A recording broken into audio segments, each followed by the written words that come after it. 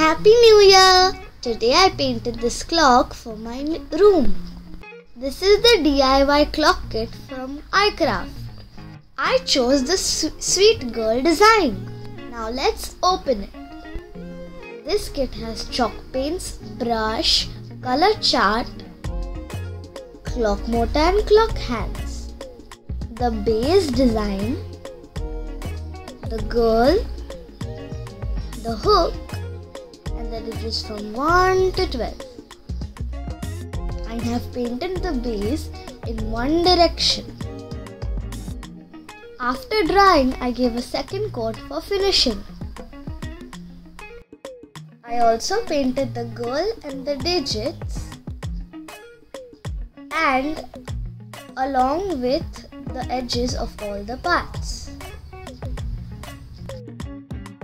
I loved painting the hair and the pink color is so bright.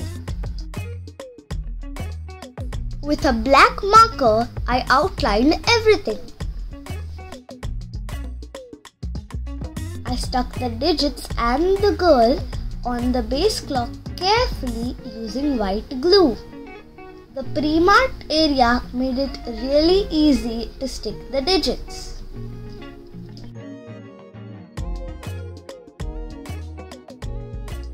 Then I attached the motor and the hands to the clock.